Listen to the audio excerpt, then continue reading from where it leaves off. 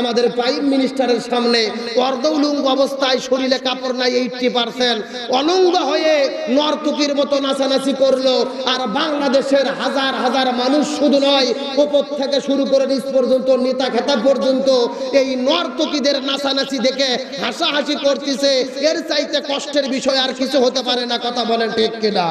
আজকে কথা বলতে হবে আজকে নর্তকী যাত্রাতে যায়, নচানচি করে, নষ্টামি ভষ্টামি করে, সেখানে কোনো সমস্যা হয় না। অথচ কোরআনের মাহফিল হান্ড্রেড ফোরটি ফোর জারি করা হয়, কথা বলেন ঠিক কিনা? আজকে বাংলাদেশের দিকে লক্ষ্য করে দেখেন, হিন্দুদের দুর্গা পূজা হয়, সেখানে বাধা নাই। খ্রিস্টানদের বড়দিন উৎসব পালন হয়, সেখানে কোনো বাধা নাই। অথচ কোরআনের মাহফিলে হান্ড্রেড ফোরটি ফোর জারি করা হয়, কথা বলেন ঠিক না ঠিক? আমাদের কথা হলো গণতন্ত্রের অর্থ যদি হয়, হিন্দুরা তাদের ধর্ম পালন করতে পারবে, খ্রিস্টানরা তাদের ধর্ম পালন করতে পারবে, কিন্তু নাইনটি ফাইভ পার্সেন্ট মুসলমানের দেশে মুসলমানেরা কোরআনের মাহফিল করতে পারবে না। এমন গণতন্ত্রকে জুতা পেটা করে বঙ্গোপসাগরে নিক্ষেপ করতে চায়। মন খারাপ করলেন? কষ্ট পাইলেন? তার বাস্তব প্রমাণ হলো গতকালকে বাংলাদেশে একটা খেলা উদ্বোধন করা হয়েছে, যার নাম হলো বিপিএল। কি নাম বললাম? এই বিপিএল খেলা উদ্বোধন করেছে প্রাইম মিনিস্টার প্রধানমন্ত্রী শেখ হাসিনা। সেই অনুষ্ঠানকে উদ্বোধন করা উপলক্ষে পাঁচ, সাত ঘণ্টা সেখানে নাচানাচি হয়েছে, গান বাজনা হয়েছে। এমনকি ভারত থেকে শিল্পীরা এসে উলুঙ্গ হয়ে নাচানাচি করছে, কথা বলেন ঠিক কিনা? কথা বলতে হবে। আপনার টেলিভিশন ফেসবুক ইন্টারনেট ইউটিউবে ভাইরাল হয়ে গেছে, দেখেছেন? ভারত থেকে দুইজন এসেছে, কি যেন নাম? একজনের নাম সালমান খান, আর হচ্ছে মেয়েটির নাম হলো ক্যাটরিনা কাইফ। যেই সালমান খান ক্যাটরিনা কাইফ এসে আমাদের প্রাইম মিনিস্টারের সামনে অর্ধউলুঙ্গ অবস্থায় শরীরে কাপড় নাই এইটটি পার্সেন্ট অলঙ্গ হয়ে নর্তকীর মতো নাচানাচি করল, আর বাংলাদেশের হাজার হাজার মানুষ শুধু নয় উপর থেকে শুরু করে নিচ পর্যন্ত নেতা খেতা পর্যন্ত এই নর্তকীদের নাচানাচি দেখে হাসাহাসি করতেছে, এর চাইতে কষ্টের বিষয় আর কিছু হতে পারে না, কথা বলেন ঠিক কিনা? তার কারণ আমরা যখন শুনি বাংলাদেশের প্রাইম মিনিস্টার তাহাজ্জতের নামাজ পড়ে, সকালবেলা কোরআন তেলাওয়াত করে, এটা আমাদের জন্য আনন্দের বিষয়, কথা বলেন ঠিক কিনা?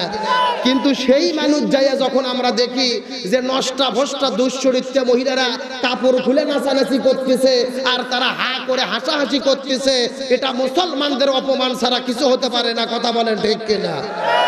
মনে কষ্ট পাইলেন? যেটা সত্য কথা, বাস্তব কথা, এটা বলতেই হবে, কথা বলেন ঠিক কিনা? তার কারণ রসুল বলেছেন, এই পৃথিবীতে এই যে কয়েকদিন আগে হলো বুলবুল, তারপরে নার্গিস, তারপরে সিডর হয় কি হয় না? আল্লাহ রাব্বুল আলামিন বলেছেন, জাহারাল ফাসাদু ফিল বাররি ওয়াল বাহরি বিমা কাসাবাত আইদিন নাস। এই পৃথিবীতে যা কিছু হয় সব কিছু হলো মানুষের দু হাতের কামাই, কথা বলেন ঠিক কিনা? হাদিস শরীফের মধ্যে বোকারি শরীফের রসুল বলেছেন, যেই দেশের মধ্যে প্রকাশ্যে দেবালোকে জিনা, ব্যবিচার হয়, ওই দেশের মধ্যে আল্লাহ সরাসরি গজব নাজিল করে। এখন প্রকাশ্য জেনারে বিচার বলতে কি বুঝায়? রাসুল সাল্লাম একদিন মসজিদুর নবমীতে সব সাহাবিদেরকে বলল, তোমরা সমস্ত প্রকার জেনাবে বিচার থেকে দূরে থাকো। সাহাবিরা জিজ্ঞেস করল, ইয়া রাসুল আল্লাহ সমস্ত প্রকার জেনাবে বিচার বলতে কি বোঝায়?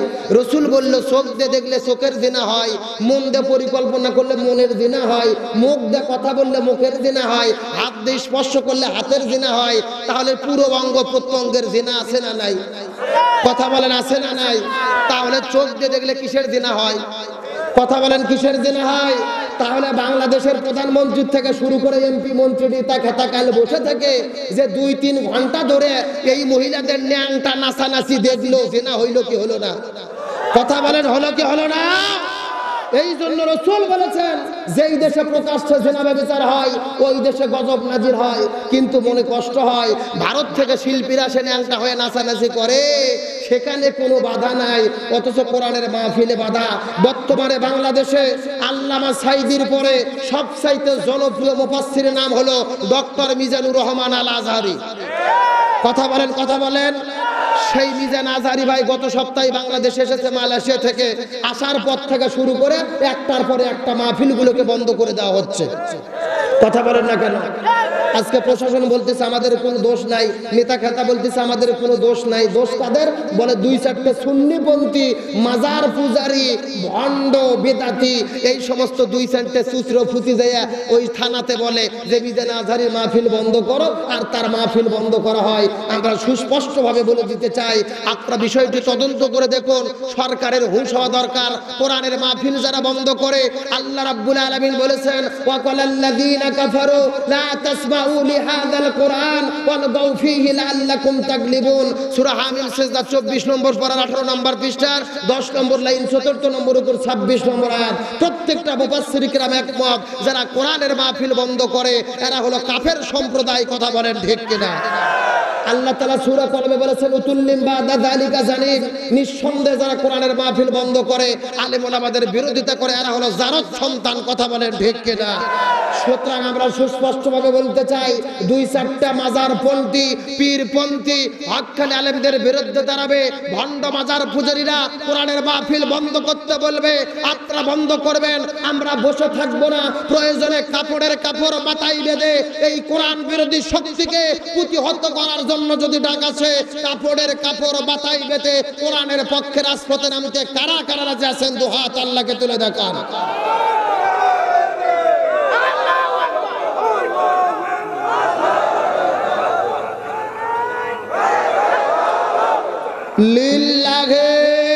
তাকবীর।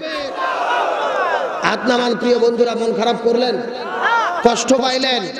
যে যেই দল করি না কোনো কোরআনকে ভালোবাসতে চাই কি চায় না? কথা বলেন চাই কি চায় না? আর কোরআনের বিপক্ষে যেগুলো ভণ্ড বাজার ফুজেরা দাঁড়াইছে, মিজান আজহারের ভাইয়ের বিরুদ্ধে, তারেক মুনার ভাইয়ের বিরুদ্ধে মোল্লা নাজি ভাইয়ের বিরুদ্ধে, মুফতি আমির হামজা ভাইয়ের বিরুদ্ধে কোরআনের বিপক্ষে যারা দাঁড়াইছে, আমরাও প্রয়োজনে তাদের বিপক্ষে দাঁড়াবো, কথা বলেন ঠিক কিনা আল্লাহ তালা আমাদের সব সময় কোরআনের পক্ষে থাকার সুযোগ দান করুক, সকলে বলেন আমিন। আরও জোরে বলেন আমিন। ইউসুফ নবী যখন সামনের দিকে দৌড় দেয় জোলেকা পেছন দিক থেকে জামা ধরে টান মেরেছে। ইউসুফ নবীর পেছন দিক থেকে জামা ছিঁড়ে গেছে। জোরে বলেন, কোন দিকে? পেছন দিকে জামা ছিঁড়ে গেছে। ইউসুফ নবী দৌড়াই জোলেকা পেছন দিকে দৌড়ায়। দৌড়াইতে দৌড়াইতে ওই সময়ের জোলেকার স্বামী ছিল আজিজ মিশ্রি। জোরে বলেন, নাম কি? আজিজ মিস্ত্রি, ওই সময়ের প্রধানমন্ত্রী রাষ্ট্রপতি, ওই সময়ের প্রধানমন্ত্রী রাষ্ট্রপতির বউ হলো জলেখা। ইউসুফও দৌড়ায়, পেছনে পেছনে জলেখা দৌড়ায়। দৌড়াইতে দৌড়াইতে আজিজ মিস্ত্রির সামনে যখন সকলে পড়ছে, এমন সময় আজিজ মিস্ত্রি বলে, জলেখা, তুমি কেন ইউসুফের পেছনে দৌড়ায়? এমন সময় জলেখা বলে, স্বামী গ, এই ইউসুফ আমাকে ঘরের মধ্যে তুলে আমাকে ধর্ষণ করতে চেয়েছিল। নাউজুবিল্লাহ বলবেন না। তাহলে নবীর বিরুদ্ধে কিসের মামলা? ধর্ষণের মামলা, জোরে বলেন কিসের মামলা? তাহলে নবীর বিরুদ্ধে যদি ধর্ষণের মামলা হয়, হুজুরদের বিরুদ্ধে হতে পারে কি পারে না? কথা বলেন, পারে কি পারে না? তে নবীর বিরুদ্ধে ধর্ষণের মামলা হয়েছে দেখে কি নবী ধর্ষণ করেছিল? এ কথা বলেন, করেছিল? বিশ্বাস করেন, বর্তমানে ইউসুফ নবীর সাথে বাংলাদেশের একটা হুজুরের জীবন একবারে হান্ড্রেড পার্সেন্ট মিলে গেছে। কথা বলেন না কেন? একেবারে একশোতে একশো মিলে গেছে খাপ এ খাপ মমতাজের বাপ। কথা কি বোঝা যায়? এ কথা বোঝা যায়? বুঝলেই হবে ভাসুরের নাম জানি, কিন্তু মুখে নেওয়া যাবে?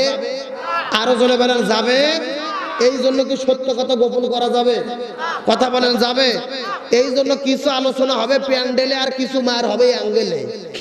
কথা বলেন কথা বলেন। তার কারণ ইউসুফ নবী ধর্ষণ করেনি, কথা বলেন ঠিক কিনা? আজকেও বাংলাদেশের হুজুরদের বিরুদ্ধে যেই মামলা দেওয়া হয়েছে, যেই মানুষটা পঞ্চাশ বছর কোরআনের মাহফিলে তাফসির করেছে, যার আলোচনা শুনে শত শত মানুষ ইসলাম ধর্ম গ্রহণ করেছে, এই মানুষটা ধর্ষণ করেছে, এই কথা মানুষ তো দূরের কথা, শয়তানও বিশ্বাস করে না। কথা বলেন না কেন? আজকে সত্য কথা বলতে হবে। রাগ করতেছেন? কষ্ট পাচ্ছেন? কিন্তু আমার কথা হলো ইউসুফ নবীকে রক্ষা করেছে কে? আরও জোরে বলেন কে? ইউসুফ নবীর যখন মামলা দিল, ইউসুফ নবীর বিচার করার জন্য ট্রাইব্যুনাল গঠন হলো। ওই ট্রাইব্যুনালে হলো জোরে বলেন কতজন?